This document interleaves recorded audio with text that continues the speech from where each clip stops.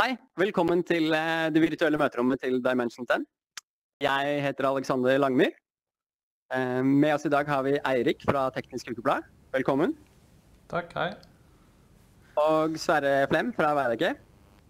God dag. Hei. God dag. Hei sann. Så jeg tenkte at eh, Sverre, du skulle fortelle oss litt om hva dere driver med. Eh, Men bare veldig kort først, hvor er det du står hen nå? Eh, Nå eh, står jeg på Frisja på IVR-rommet vårt, og eh, ved Frisjaparken oppe med Maridalsvatnet, nord for Oslo. Nettopp. Og Eirik, hvor er det du står hen?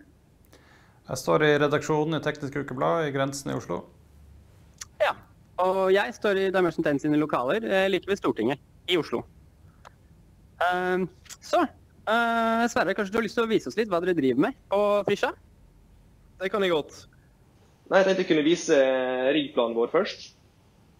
Vi har lagd en, eh, en, eh, en 3D-modell, altså en BIM av, eh, av riplanen vår.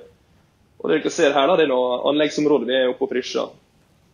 Vi er plassert da i anleggskontoret vårt her borte, i eksisterende kontor.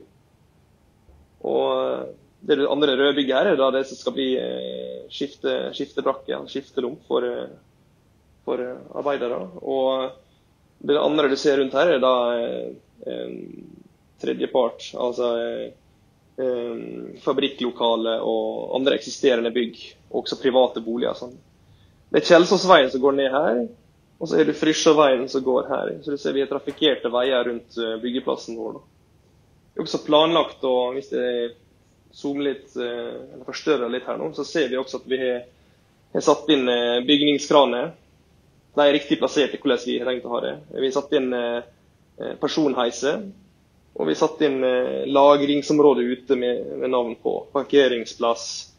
Samlingspunkt, som dere ser her. Hvis jeg vrir litt på med den, så ser jeg at vi har samlingspunkt utenfor byggeplassen da, om det skulle, skulle skje noe. Yes, Det var vist i, elitemodell. Vi kan nå gå i én til én, så du får, får liksom en følelse av hvor dette her er ute på byggeplass.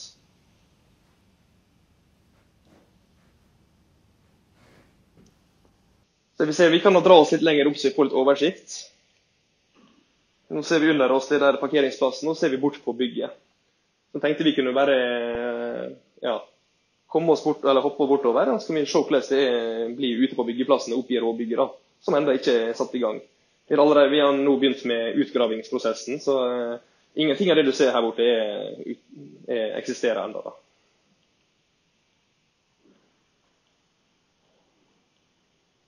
Vi går, skal vi gå litt lenger bort her? Hoppe bort hit, hvis dere følger etter meg.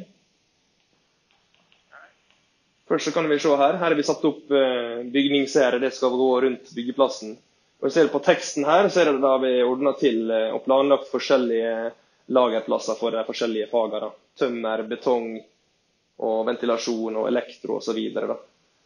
Som er, her har vi planlagt å jobbe med tegninger og sett på liksom gode løsninger med, både med transport med biler og, og lagring. Da.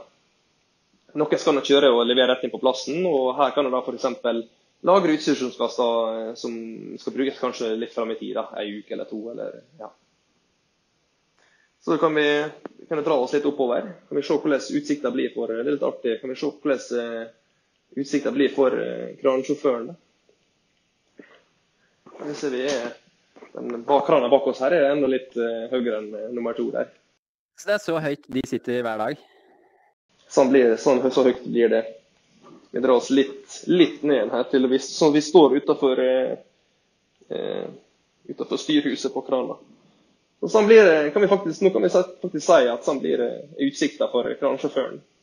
Og Det gir oss også en, en fin oversikt over hva, hva, han ser, og hvor vi kanskje da burde også ha lossesone. da, slik at han, vi, altså, han har jo løfteutstyr eller kran på, på løpekatten, som blir, altså hivet som går ut.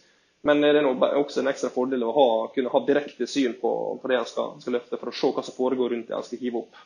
Og Sånn kan vi da planlegge og ha løftesoner som han, har god, god sikt til. da. Eh, planen er også å kunne se eh, hvordan det å bruke til prosjektering. Altså Det tar inn modellene fra, fra, det tekniske, da, som rør, elektro, vent, ja, ventilasjon, ribb, sånn som den her. Og se om det er riktig med teknisk i forhold til sjaktet, om det kolliderer i hverandre og lignende. da. Men det er også mulighet til å ta, ta et snitt av modellen. da. Og det, når du skjærer i modellen for å se hvor det, hvordan det er satt opp. Så da Hvis du har f.eks. har hatt teknisk dette nå, så har du sett liksom hvor, det, hvor, det, er planlagt. Og, og hvis du har dimensjon på ting, så er det litt lettere. Da. Så det er ganske stilig. Jeg kan også bruke måleverktøy. Du kan se f.eks. den veggen her. Hva dimensjonen på den er. Så er du, ser ut som det er en 100-vegg. 100, 100 millimeter. Sett en hel ting i, i, i annet perspektiv. da. Det er noe, Istedenfor å se på en skjerm, så får du litt mer tilhørighet til det. Du kan gå ut og se hvordan det faktisk ser ut ute. da.